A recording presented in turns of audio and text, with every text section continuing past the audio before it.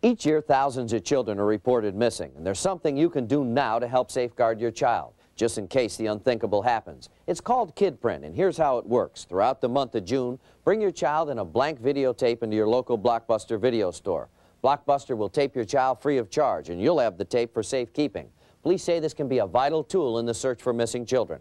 Contact your local Blockbuster Video to learn more about KidPrint. Support KidPrint all this month at your local Blockbuster Video.